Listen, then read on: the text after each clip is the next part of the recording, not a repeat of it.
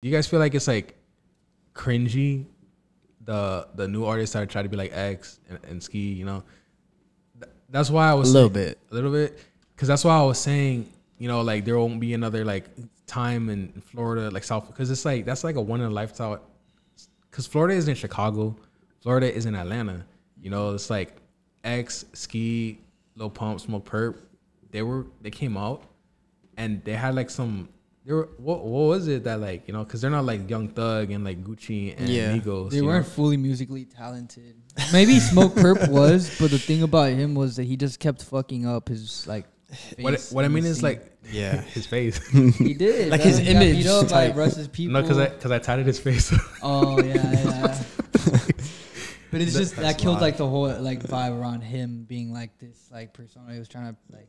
No, I, I also don't. I think people don't take into account like, all right, you see the streaming and shit, you see the numbers, but sometimes people don't go to the shows and see like the real what's really happening. So I feel like a lot of that shit. If you're just looking at the numbers, like, damn, it's happening all so fast. But if you were at these shows and you seen like what was really going on, it's like there was high energy at them shit. You know, what I realized just now. I realized, you know, what I was trying to say is that like Atlanta and Chicago, they have like a factory of like rappers, but Florida, they had like a like a business of rappers where it's like X was on the top. He's like the the the CEO.